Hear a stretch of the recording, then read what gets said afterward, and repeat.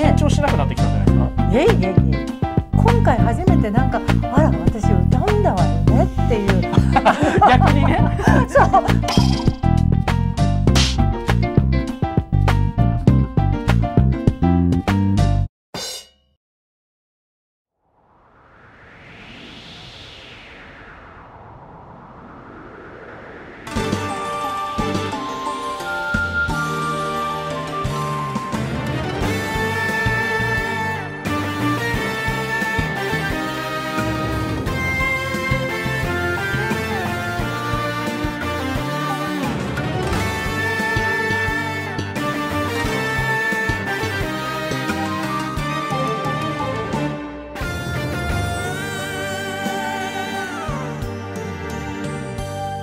月の雫を浴びて開く花びら。そうよ。あなた一人思って。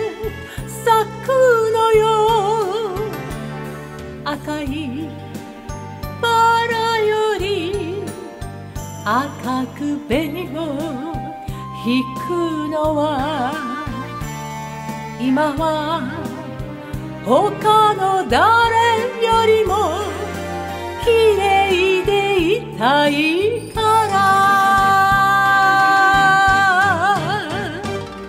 闇に咲く花でもいい。罪深い花でもこのままでいられたら不幸で構わない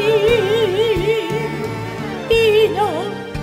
あなたの腕の中で。咲きたい。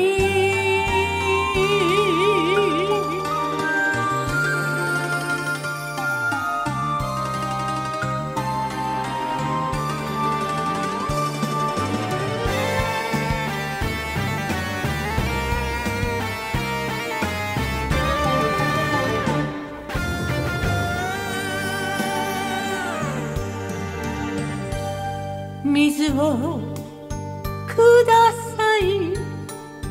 愛の水を今すぐ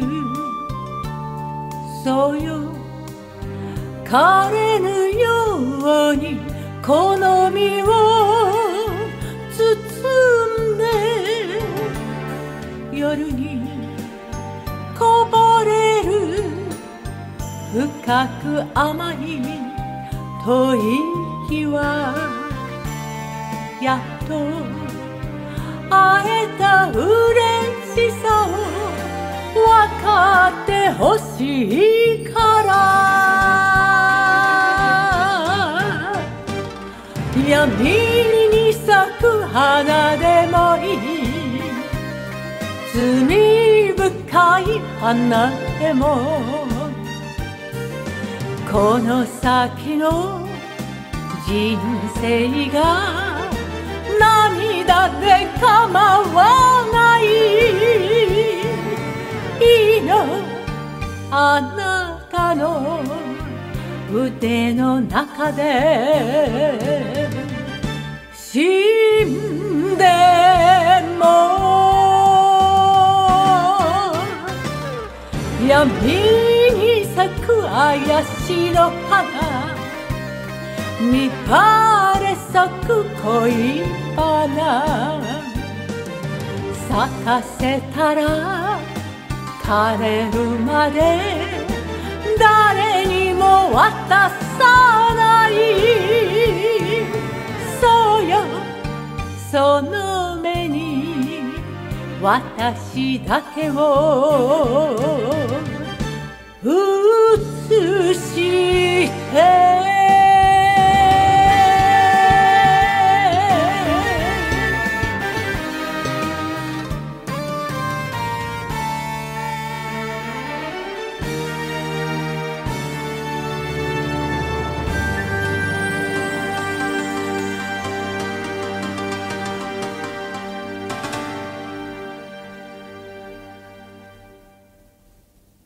山崎素子さんで吉川ひとみさんの怪し花マイナス1でお歌いただきました素子さんありがとうございましたありがとうございました。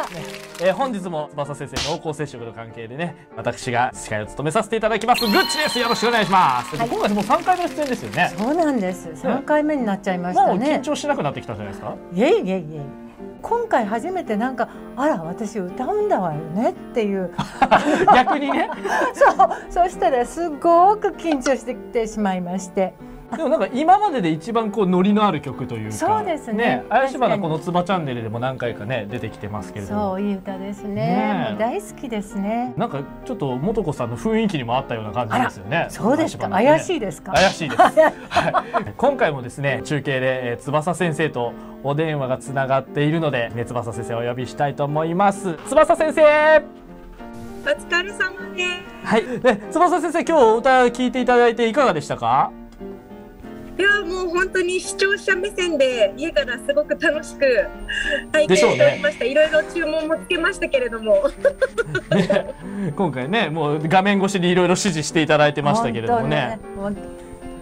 ありがとうございました。本当にねあの素敵なドレスとあの着物で悩んだので、うんうん。まあ、たまたまちょっとねあの松尾のしーちゃんと一緒にもうどうせならどっちも着ちゃえば？って言ったらあうちの最強クルーがね あの願いを叶えてくれてじゃあツーポーズいっちゃいましょうということで。あ、ね、今回途中で衣装チェンジ入りましたからね。そうです。もうあのでも先生一週間前ってのはやっぱりちょっと大変でしたね。一週間前突然言われた、突然着物とドレスで行きましょうって。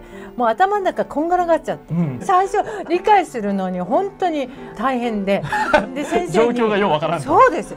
頭の中を整理すると、うん要は着物で歌ってきもう急いで着替えてドレスに着替えてまた通しで歌うんですね。だからものすごい勢いでピンポンピンポンが来ます。そうだよって衣装チェンジそっちでするんやねそうなんです。そうそれでやっと納得できて。